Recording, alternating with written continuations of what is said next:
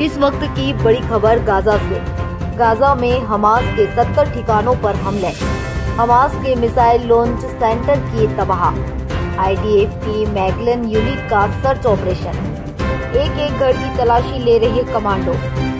Hamas के missile launch centre किए तबाह। इस वक्त की बड़ी खबर गाजा से, जहाँ पर आईडीएफ की मैगलन यूनिट का सर्च ऑपरेशन। एक एक घर की तलाशी ले रहे कमांडो।